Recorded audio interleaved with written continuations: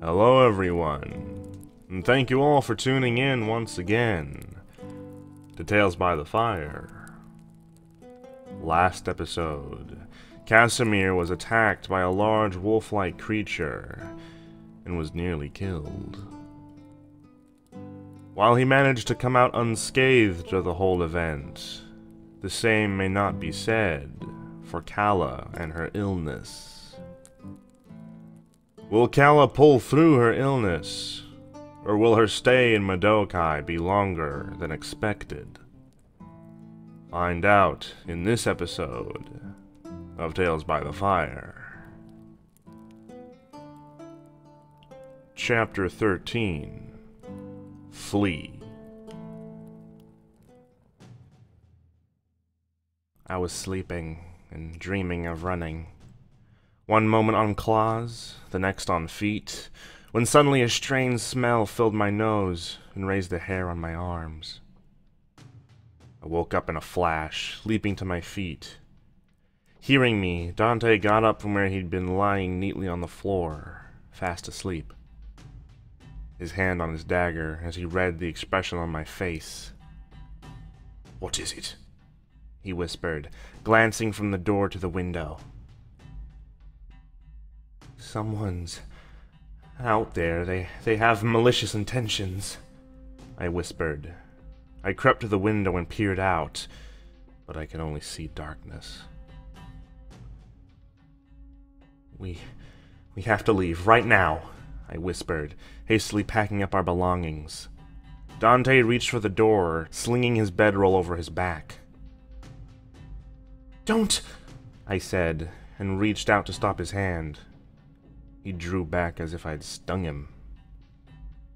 They're coming in, and they're heading for the stairs, I said, relying on my instincts and hearing above all else. I went to the window and opened it quickly. Go!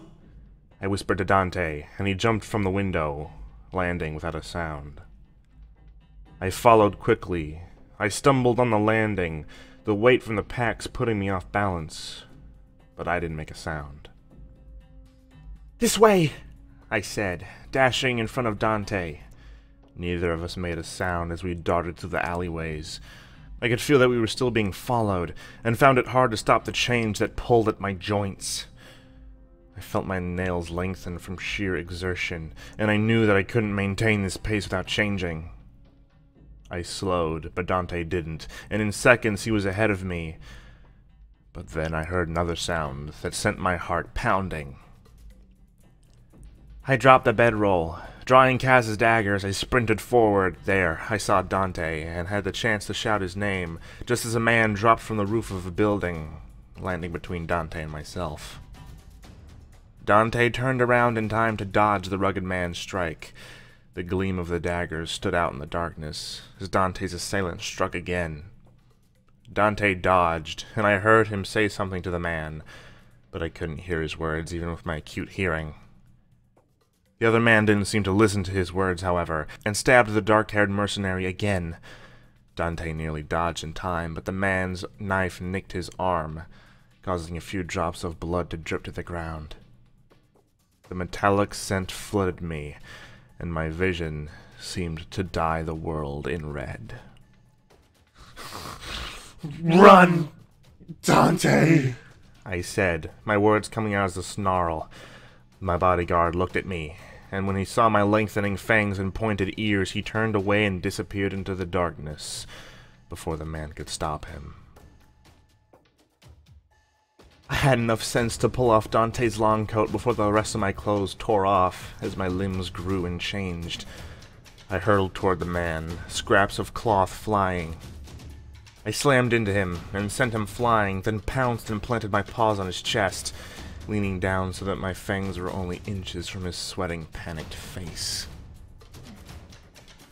Why are you hunting us? I snarled, and saliva sprayed from my mouth and into the man's face. I struggled to keep control and prevent the change from taking me over. Not here. Not now. I thought to myself, but my mind only grew more clouded.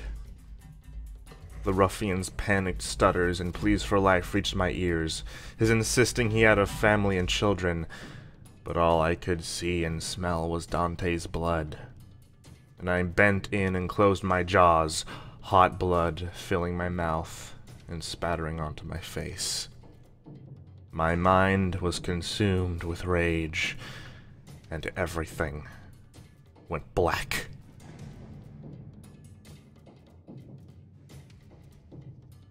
That was Chapter 13 of Marked. It was written by Darkhawk14 and posted on fictionpress.com. Thank you all for listening. If you'd like to read the story in its entirety, then go to Darkhawk14's fictionpress.com page in the description. And like always, I'll see you all next time on Tales by the Fire.